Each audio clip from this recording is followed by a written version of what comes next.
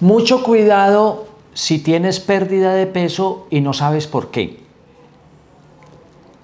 ¿Te has preguntado a qué se debe tu pérdida de peso sin causa aparente?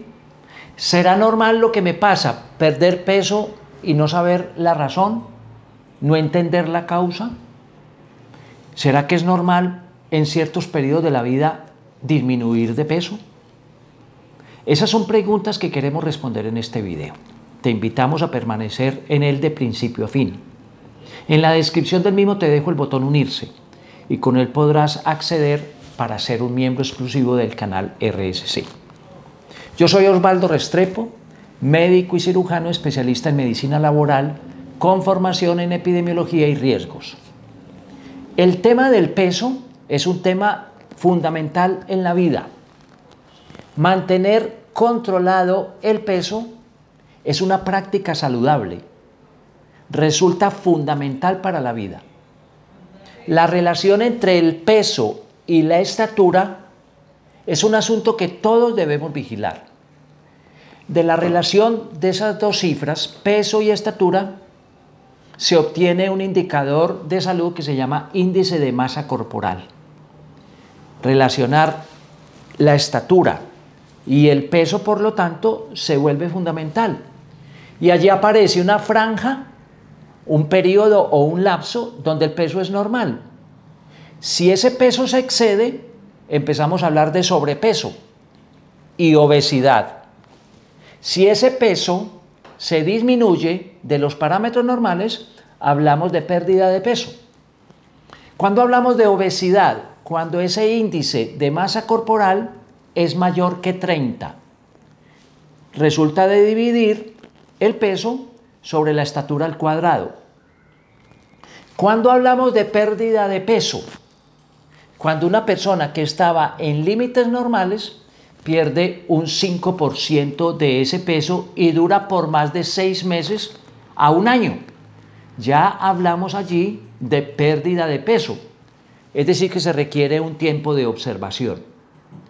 No conviene ni aumentar peso pero tampoco conviene bajar de peso por debajo de los límites permisibles para cada persona, que ello dependerá de ese indicador que hemos hablado, hemos denominado índice de masa corporal. Por ello, si usted ha perdido más del 5% de su peso, es decir, una persona de 60 kilos pierde más de 3 kilos por más de 6 meses, hablamos de pérdida de peso. Y si la pérdida del peso fueran el 10%, 6 kilos por más de 6 meses en una persona que debería pesar 60 kilos, hablamos de pérdida de peso. Haga su relación y mire a cuánto equivale el 5% de su peso ideal, del peso que tendría que tener usted para su estatura y también para la edad. Si usted viene perdiendo peso y no encuentra la razón, va a ser muy importante hacerse la pregunta, ¿qué está pasando en mi organismo? ¿Qué está pasando en mi cuerpo? Y entonces me pongo en camino de atender esa circunstancia. Son muchas las causas que pueden llevar a una pérdida de peso. Las vamos a mencionar en orden descendente de frecuencia, las más frecuentes hasta las menos frecuentes, para que sirva allí de evaluación de lista de chequeo que me permita descubrir qué puede ser lo que me está pasando a mí. Si luego de mirar esta lista de situaciones que pueden llevar a una pérdida de peso, sin explicación obvia, usted permanece sin saber por qué está perdiendo peso, lo invitamos a consultar. Lo invitamos a visitar a su médico de confianza y a no quedarse con ninguna duda sobre el estado de salud. Cuidar la salud pasa por cuidar el peso, también pasa por la alimentación, por el ejercicio, por muchas prácticas. El cuidado del, peso es una práctica fundamental. ¿Qué puede pasarle a una persona que está perdiendo peso y no sabe todavía por qué? Una primera circunstancia son las enfermedades de tipo endocrinológico. Tienen que ver con el sistema de hormonas de nuestro cuerpo. Por ejemplo, la diabetes mellitus puede hacer perder peso a una persona. y pasar desapercibida esa diabetes, hasta tanto no se haga un examen para saberlo. También una persona puede perder peso por una enfermedad de la tiroides, una glándula que, se localiza en el cuello. Cuando el funcionamiento de esa tiroides es muy alto, hipertiroidismo, hipertiroidismo, las personas pueden perder peso. Diabetes mellitus e hipertiroidismo son dos causas frecuentes de disminución de peso. Hay otras enfermedades endocrinológicas que pueden también hacer perder peso. Sin ser diabético, un trastorno de tolerancia a la glucosa, un desbalance en los azúcares y en los carbohidratos te puede hacer perder peso. También hay una serie de enfermedades relacionadas con la esfera psicológica. Una persona en estrés puede perder peso. Una persona presa de miedo puede perder peso. Una persona ansiosa, llamamos nerviosismo, puede perder peso. Una persona en depresión también puede perder peso.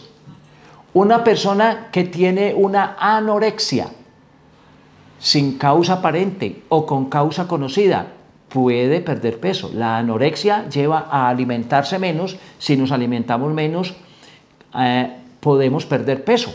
No reponemos lo que hemos perdido. Las enfermedades del hígado, los trastornos hepáticos, una hepatitis aguda, una hepatitis crónica, algunas lesiones o tumores dentro del hígado podría hacernos perder peso. Los trastornos digestivos, donde los alimentos no se absorben suficientemente, nos pueden hacer perder peso. Una infección aguda o una infección crónica por mucho tiempo, infecciones que duran mucho tiempo, nos pueden hacer perder peso. Y por último están las enfermedades relacionadas con cáncer o tumores malignos, que también nos pueden hacer perder peso. Estas causas que nos generan pérdida de peso las debemos evaluar todos y cada uno de nosotros. Si fuera de conocer este listado de posibles causas de pérdida de peso, no encuentras la tuya, ponte en las manos de un médico de confianza. Es muy importante identificar tus hábitos, tus costumbres. Muy importante identificar tu alimentación, tu dieta. Muy importante mirar tus hábitos alrededor de la alimentación. Y también otros hábitos, si se hace o no se hace ejercicio, es muy importante para explicar una pérdida de peso. Tan importante como controlar el aumento del peso es controlar la disminución del peso. Nos puede llevar a una desnutrición, a pérdida de nutrientes y a dificultades metabólicas relacionadas con la salud. Y ello podría conducirnos a una enfermedad.